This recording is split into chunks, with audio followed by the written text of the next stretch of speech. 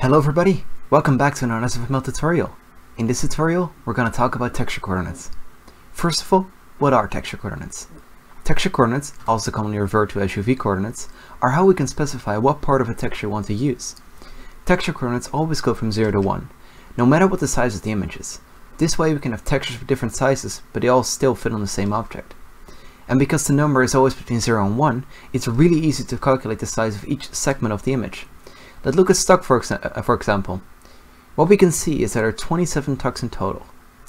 9 rows of 3. So if you divide 1 by 3, we'll get the width of each tux, and we divide 1 by 9, we'll get the height of each tux. Now if we multiply these numbers by the index of each tux, we can calculate the u and v offset for each tux. Let's say we want to use the tuxes at the bottom right of the corner. Then we'll multiply 1 third by 2, we start counting at 0, remember that, for the x in, uh, or u offset, and we'll multiply a ninth by 8 for the y or v offset. Now that we know what the UV coordinates are, it's time to know how to use them in SFML. Do you remember that I said that UV coordinates always are from 0 to 1? Well, the makers of SFML decided it would be easier to use the coordinates from 0 to the image size.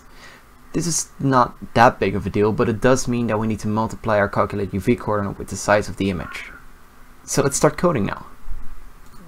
We do have to change some things first though. Since tux isn't a square, but it's a rectangle, we need to make the height of tux 150. This way our selected tux will not be cropped down into a square, but it will actually be the size that it needs to be. Next thing that we'll need to do is we need to actually add texture coordinates. So the first thing that we're going to need to do is we need to get the size of the texture, so we can divide it into smaller parts. So how do we get the size of a texture? Well, we simply type in player texture that gets size and that will get us the size. And the size is going to be an sf vector to u. The u stands for unsigned integer. Sf vector to u. So let's call this texture size.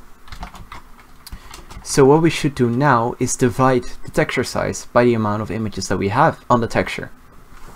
So texture size that x divides equals 3 since we have 3 tuxes 3 and texture size dot y divides equals 9 because there are 9 in the height.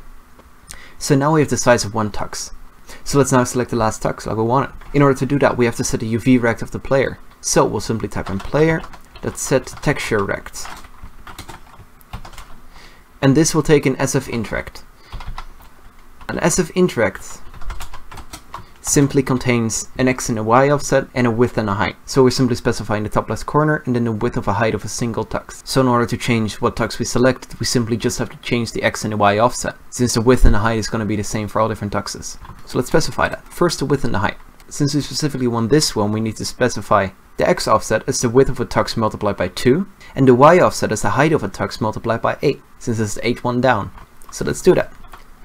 Texture size.x multiply by 2 texture size dot y multiply by 2 texture size dot x because it's the width of each tux and texture size dot y because it's the height of each tux so now if you run the program you will see that we have a tux but I made a mistake.